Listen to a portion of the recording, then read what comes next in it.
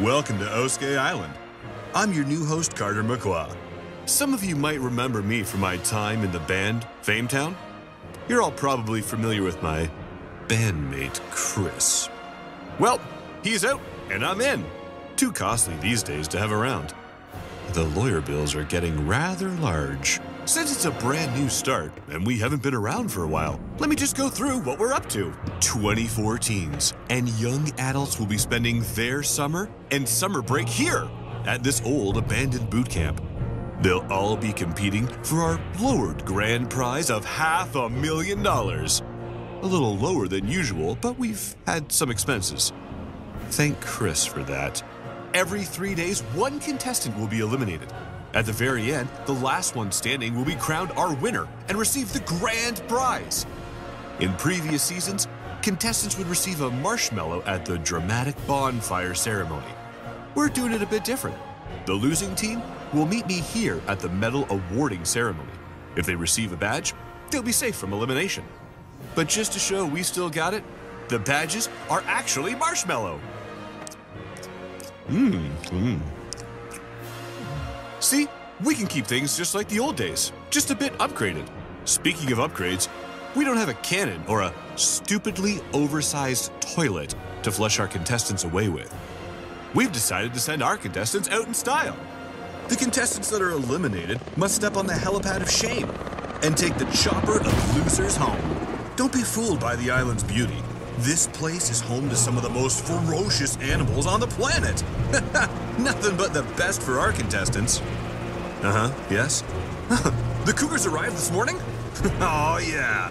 There's gonna be some mullen this season. We're kicking things off in style. And with a twist that will leave you die-hard fans going nuts. This is Total Drama Oskayi Island. Oh, yeah, baby. the dawn of a new era. Bring on the drama.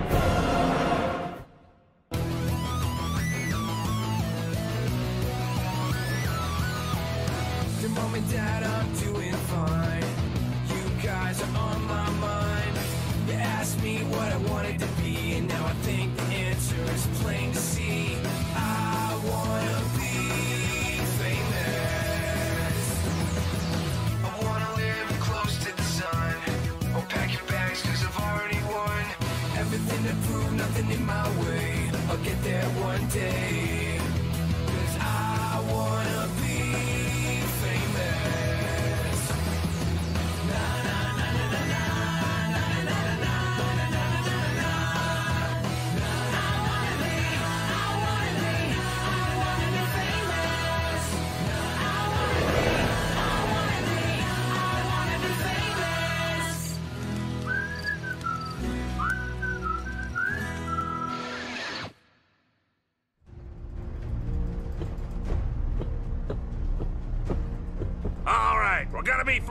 The island soon. When that happens, you'll all be briefed on the competition. Oh, oh, mister, is there gonna be s'mores? Because this one time at band camp, we stuck somebody to a tree using nothing but marshmallows, and it was super funny.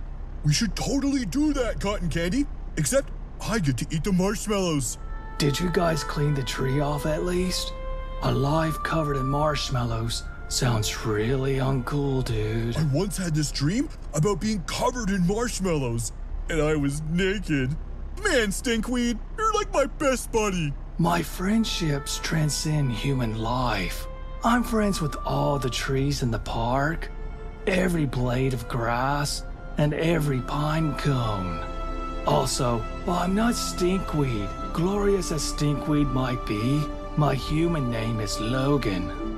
Uh, uh, I- I'm really sorry, but you are a little, uh, humid, to say the least. Yeah, a little too humid. I imagine this is what unwashed underwear smells like if it was fermenting in puke for a year. Oops, sorry. It's all good. There's nothing but clothes in there, anyways. Oh, uh. mm. Hey, um. Sorry, my throat's just a little dry. I'm Crystal. I'm Brett. Are you two sisters or something? Oh, we're just best friends. And we're on the same cheer team. Crystal's my co captain. Cheerleaders are awesome. The ones back at home can't get enough of these guns. Yeah. Crap. So you can do those cool flips and stuff. Totally. Watch. Huh, huh, huh, huh, huh, huh. Oh, whoa. Whoa. Uh, hey, you mind helping me out? Sure. Whoa, whoa. Thanks. Sorry, I didn't catch your name. Alex, I- I'm I'm Alex. I'm Nicole. He caught you. So what? Not like he's your hero now, is he? He's nothing but a little geek. He couldn't fight his way out of Betty's barf bag. It's not my fault. I get sick during takeoffs. You know, without the proper mind to control that strength, what can you possibly accomplish? I'm not some super athlete, but that sounds about right. If you want to know anything about partying, though, I'm your guy. Ah! Are you alright? I've taken way harder hits at parties. I'll be fine. That's the spirit. I once took a horse hoof to the head while shoveling poop out of the barn. Not to mention the pig pan. You know, there's a lot more shoveling of poo than you'd think on a ranch. You sound a little too proud about shoveling poo. Being part of one of the best war duty clans online is something to be proud of. My clan is undefeated. I play that all the time, but I'm more of an RTS girl. Make my army and smash my enemies. I'm one of the best online players. They call me Pink Laser Sight. You're her? That's so cool. I saw your team solo kill with Racer in the finals, then you pushed the payload in by yourself. Total clutch play. Thanks. It was pretty cool. Choke up on your pitchfork there, bud. You can't be that proud about being a game nerd. Better than being proud to be a redneck gangster. Man, you look whack wearing rubber boots and stuff. You look as threatening as a powder puff. yeah. You're preaching about making a fool of yourself? You're the one covered in a tribal tattoo. I lost a bet, then got my piercings cleaned at the vet. Hospitals are for chumps, yo. Sounds like a stupid bet. Yo, how are you doing that? Oh, I've been able to do this my whole life. I'm like a spider! Ugh. Wow, I should do that on my next pageant. How are you able to walk on the roof? Are you like half spider or something? Maybe I am. I'll try shooting some web. I'm just not sure where it's gonna come out of though. I'll try my nose first. Hold on. Just, just a little back it up here. Uh, who's he? Ah, you mean Mr. Jesse Gill, listed as number one in Canada's most dangerous criminals list? I'd say stay back. He's kind of a biter. I once saw him bite off three guards' fingers just for looking at him wrong. You're such a liar. He's probably not dangerous at all. Well, he doesn't look like that kind of person, to be honest. Why am I being forced to sit beside both of these freaks? Oh, you're gonna be popular for sure. We are about to approach the drop-off point. Here is your briefing. You are to land and make your way to the dock on the island. Don't we need parachutes? Yeah, you do. Ah!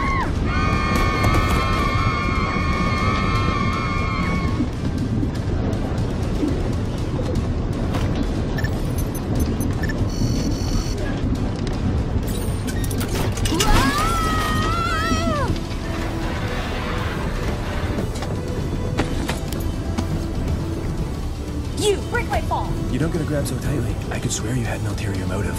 Yeah, it's called not dying. Save me, Stinkweed! Yeah, this is awesome.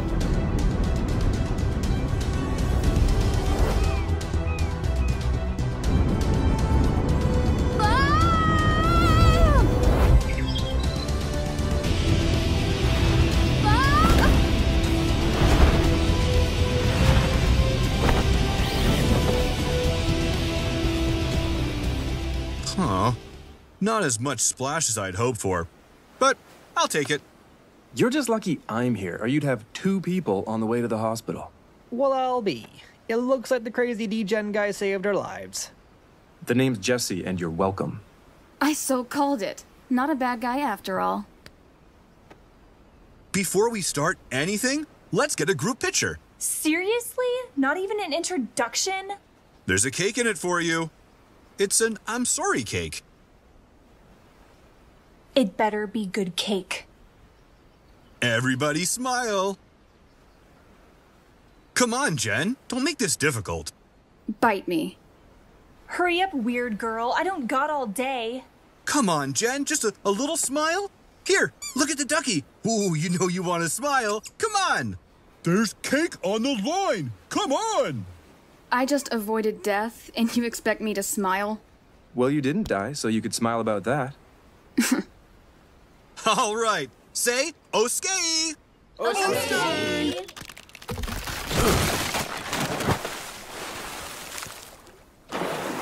This day's all uphill from here. Not a chance. Come on. Somebody help him out of the water and let's get on with this. Here, let me help you.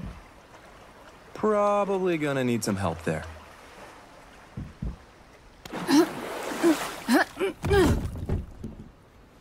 All right, let's begin. This is where you'll be staying for the next two months. But before you put your things in the cabins, we need to make teams. Does anyone want to volunteer to be captain? Nobody. Uh, nobody at all. Asking for volunteers after you just threw us out of a plane? yeah, right. I'll get back to you on that one. Being a team captain puts a lot of responsibility on your shoulders, which means if your team loses, you can easily be blamed for it. Only an absolute fool would volunteer. I'll be a captain. Perfect! Who else will be a captain? I will be a captain if it makes the day go by faster and I can get out of these wet clothes. All right, perfect. For the first time in total drama history, we've assembled the most diverse group of teens separated by age, going from our youngest contestant ever at 14, Isabella, to our oldest contestant at 20, and all ages in between. But if you're really curious, Jesse here is the oldest contestant we got. Now, to see who picks first, I have arranged a little game. Hey, Chief! This is Chief. He owns this camp, and he's been running it for 20 years. The last person to cover their ears from Chief's yelling wins and gets to pick first. You two are dead. And go!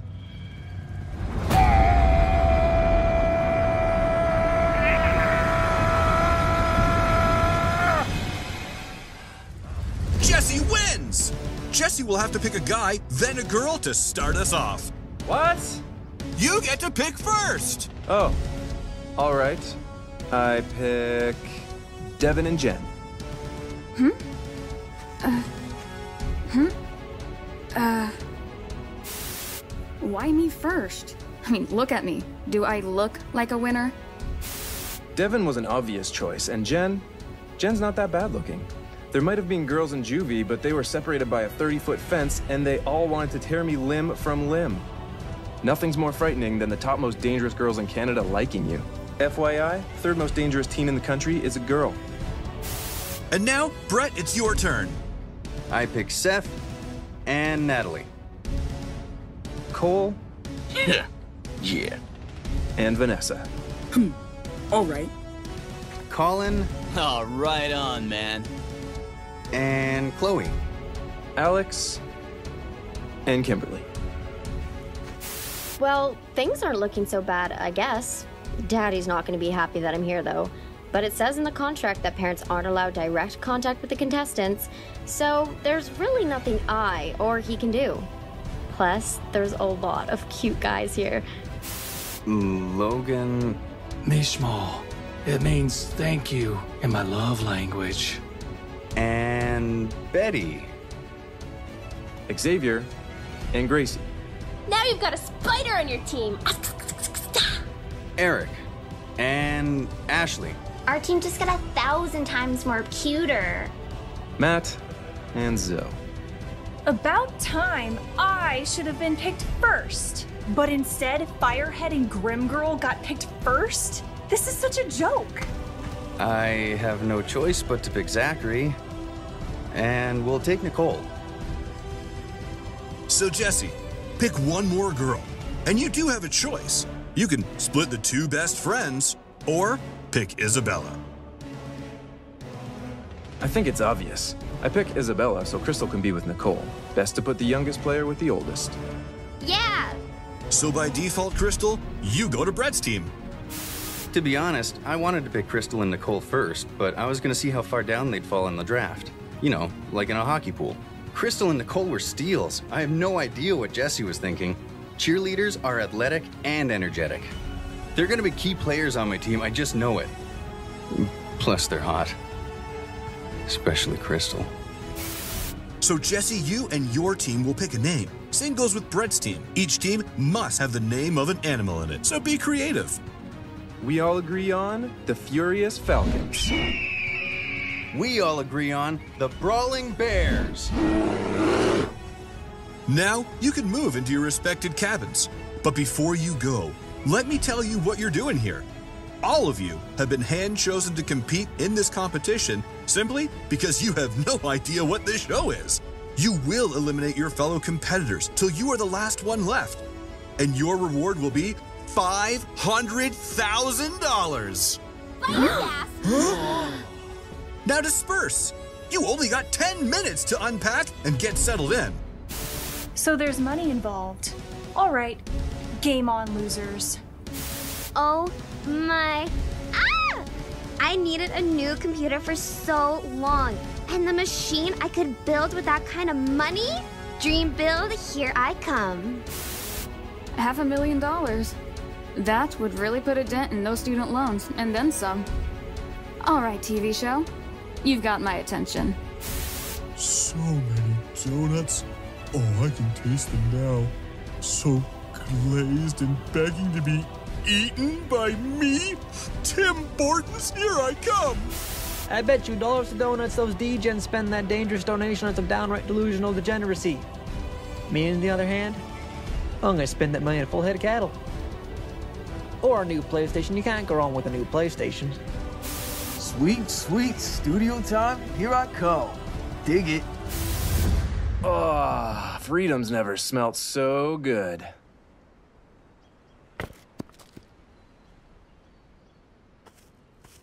What are you so upset about? You didn't want me to save your life, or are you always like this? No, just when I'm forced to stay in a dump. Hi, I'm Kimberly. Oh, but I guess you already knew that because you picked me on your team. I just wanted to say thanks for saving us. So, what did you do to get number one most dangerous teen in the country? It's a long story. Everybody, report to the beach and get ready to get wet. Chief has a little surprise for you. oh, and by the way, if you can't swim, eh, well, that could be a problem. It would be bad to have somebody die on the first day. Hey, who wants to put money on this? I got 20 bucks on the big fat guy. He obviously doesn't get the reality of being thrown out the back of a plane without a parachute. My dad is so controlling. He makes me wear what he wants all the time. But now that he's not here, I can wear whatever I want. Time to be like every other girl. It'll be the first time I've gone out in public wearing a bikini. I am Chief. No, that's not my name, but you're gonna call me that. Got it, punks? What are you kids deaf? When I tell you something, you respond, yes, Chief. Got it? Yes, Yes, Chief. Err, looks like we got us two wannabe heroes over here. Well, your insubordination has just volunteered you for the first morning exercise. What are you gonna do? Make us swim to that island over there and back? Yeah, I am. Way to go, fortune teller. All of you are gonna swim to the island and back before you receive any breakfast at all at my camp. Don't do it, and you go hungry. Do you understand? Yeah, dude, we understand. No need to spit on me. Dude, nice ink. Yeah, my ink is pretty deadly. Hmm. Whoa. What happened to your arm? Oh, that. That's a story for another time. Yeah, this bad boy, it took internal and external stitches to hold it together. Yeah, it was painful, all right, but man, it does look cool when I think about it. Tattoos are so hot. This guy's just too perfect. Plus, I'm a total sucker for scars. I wonder how he got it. Oh, um, I mean, he, he's alright, I guess. You pretend you never heard that. Okay, so this Jesse guy is really doing it for me right now. Dad would so not approve of him either. He's perfect.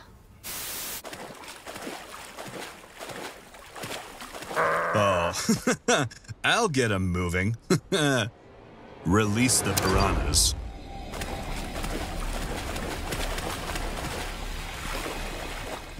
Are you insane? What a chicken! I wouldn't release the piranhas this early. They're for later.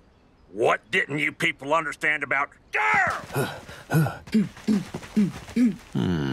What's wrong, boy? Afraid of a little aqua de vino? No. I'm just wondering if you're trying to kill us because this is literally impossible. Don't give me excuses, boy. Look at the little blonde kid out there. Are you gonna be beat out by a 15 year old with a cowlick or a pink haired girl with a gaming obsession? They're barely keeping their head above the water. Either you swim or you starve. What do you think about that, Private Smart Alex? Great, he's doing puns now. Yeah, I think I'll starve. Arrgh. You good for nothing degenerate. If you don't get into the water right now, I'm gonna tear off your head and use it to play the World Championship with. Oh, I'm so scared. I don't get to eat breakfast and you're gonna tear my head off. You wouldn't kill me, and I can go without food. That was pretty brave of him to stand up to Chief like that. Not to mention pretty funny. Something just touched my leg. I felt Oh, it I inside. feel it too. Would all of you just shut up and keep swimming? Yeah, I lied about saving the piranhas for later.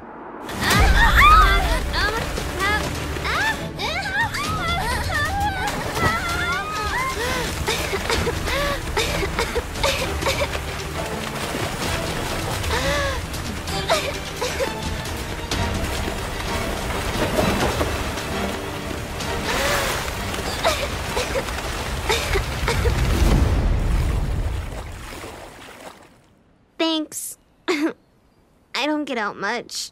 And I might have inhaled a lot of water. Yeah, impromptu dying isn't a daily activity for me either. Well, not regularly. It's been a couple years. Good, y'all made it. Now you gotta make it back. And how do we do that with killer fish in the water? Find a way! This is gonna be one awesome summer. Who will make it through this challenge alive? Who will go home first? And who will be the one who outlasts them all? Join us next time for another jaw dropping episode of Total Drama Oskayi Island.